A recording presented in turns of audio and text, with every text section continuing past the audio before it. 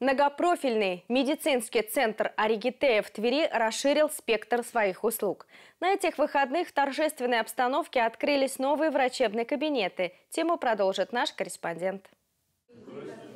Во время открытия поликлинического отделения презентацию вела сама доктор Мухина. После перерезания красной ленточки все приглашенные отправились на экскурсию по новым кабинетам, которые оборудованы современными аппаратами. Теперь в клинике Оригитея пациенты могут получить не только качественную помощь по уникальной технологии «Золотая игла», разработанной Мариат Мухиной, но и пройти прием у высококвалифицированных врачей по всем видам специальностей.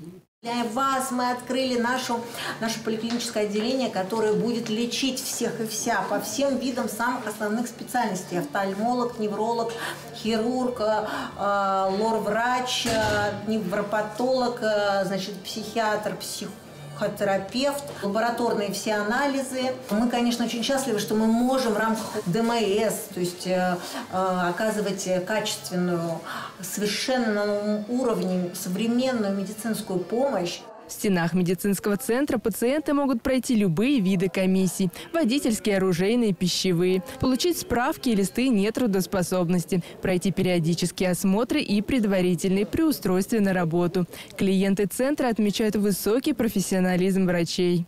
Я являюсь здесь пациентом 2015 года.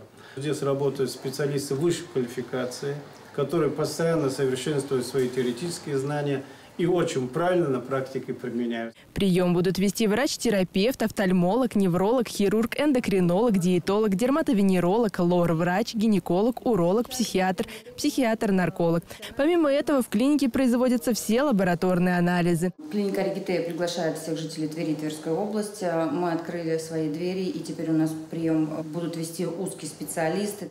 Многопрофильная клиника Регитея ждет посетителей по адресу улица Андрея Дементьева, дом 40. Записаться на прием можно через сайт или позвонив в регистратуру.